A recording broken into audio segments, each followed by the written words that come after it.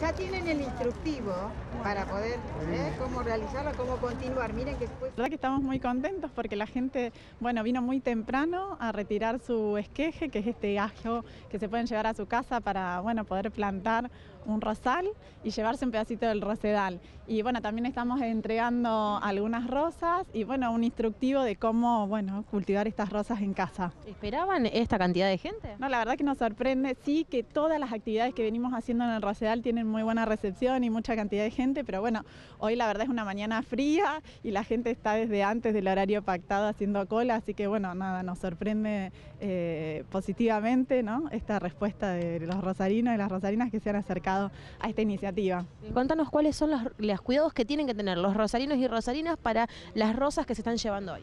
Es muy sencillo, solo tienen que ir a comprar algún vivero para tener eh, más éxito, hormona de enraizamiento y fijarse que las yemas estén mirando para arriba y los aguijones, que no tienen espina en las rosas, sino tienen aguijones, miren hacia abajo.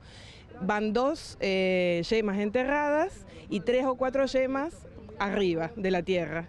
Eh, aproximadamente eso se riega y aproximadamente en tres meses ya va a tener raíces, pero nosotros siempre recomendamos dejarlo en el mismo lugar, en la misma tierra, por lo menos durante un año, para asegurarse de que esas raicitas tan finitas no maltratarlas y que no, no se nos muera eh, la planta nueva. María Rosa, te estás por llevar uno de los esquejes que están regalando. Sí, eso vine a buscarlo. Eh, aparte, bueno, también participé en el momento que se plantaron los rosales, pues soy del barrio, así que lo siento como el jardín de mi casa.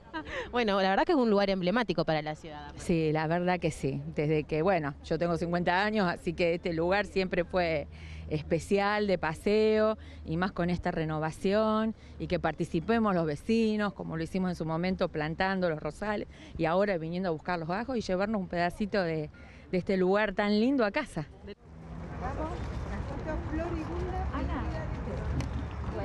네, 알겠습니다.